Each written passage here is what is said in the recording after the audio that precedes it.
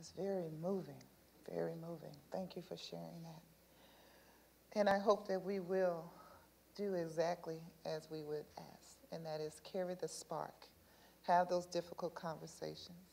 And I do truly believe, and I don't know all of you that's sitting in this space at this time, but I truly believe that we do want to make the world better, and we want that change to start with us. So I hope you're encouraged to go out and do that.